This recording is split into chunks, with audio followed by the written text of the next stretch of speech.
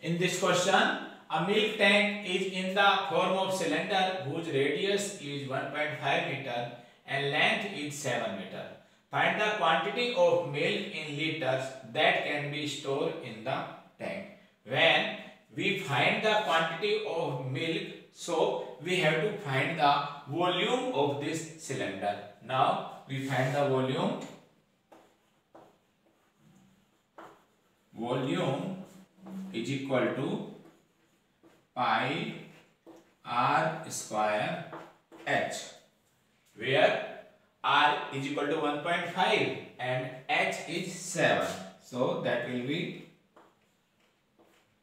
pi r. 1.5 can be written as 15 by 10 15 by 10 into h is 7 so this will be 22 into 225 divided by 100 that will be 49.5 meter square. So the volume of this cylinder is 49.5 meter cube sorry that will be 49.5 meter cube.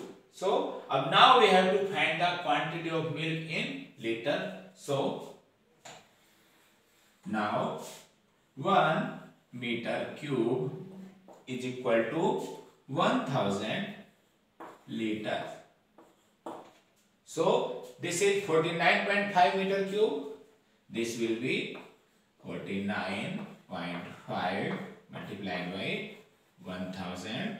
This will be 49,500 liters.